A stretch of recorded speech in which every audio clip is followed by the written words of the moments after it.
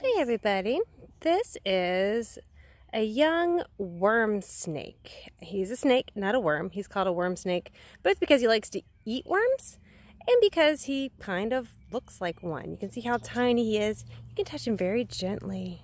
He's a touchy snake. I'm not going to touch Cyber. Gently. Whoop, whoo, that surprised him.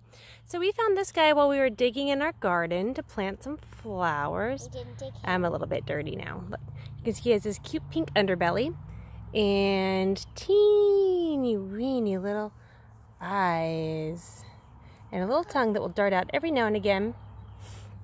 So these guys are helpful. they um they eat small bugs and worms in the soil and they kind of help break up the soil just like worms do. They're friendly little critters to have in your garden. So they're small.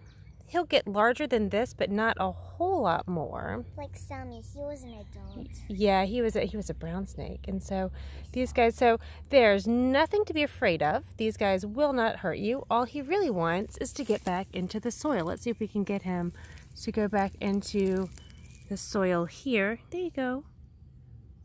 Off he goes. Off he goes into Yeah. the garden. You can see him kind of digging into the soil right there. He's still curled around my finger. And he's gonna just head back into the soil. We'll have to be really careful when we're digging over here so we don't bother little Snaky. So that's one of our backyard wildlife finds this morning.